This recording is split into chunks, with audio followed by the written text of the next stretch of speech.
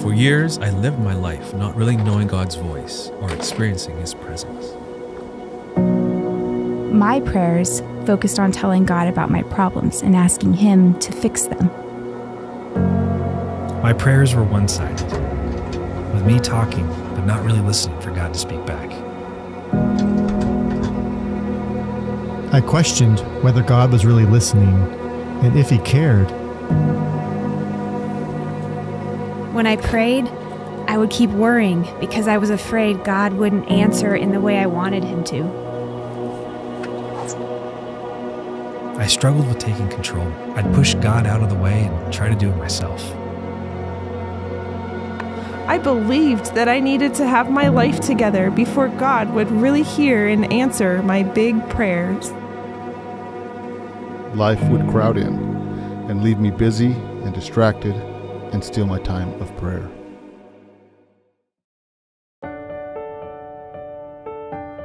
Over a year ago, we started on a journey that has just taken off to the point where I can't even put into words how much I've learned, how much I've changed in prayer.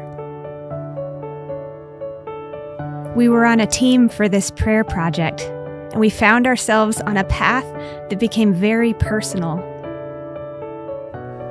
We were at a place where we just really needed God to show up, to be real.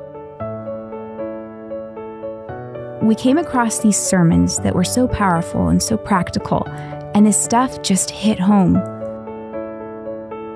We spent hours poring over it all, wanting to understand, wanting it to become real for us. We were praying and trying to put into practice the things we were learning in our lives and then for this project. It became a journey that challenged us to our very core in how we pray and what we pray for.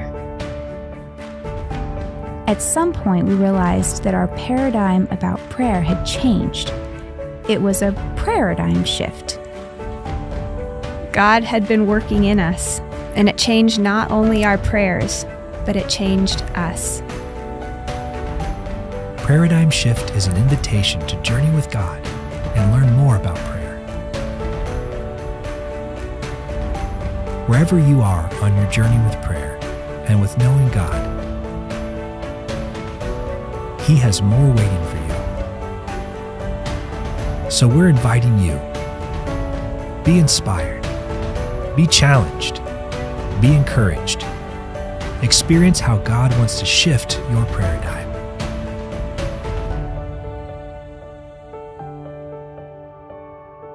Join us as we dig deeper into the power of God's paradigm.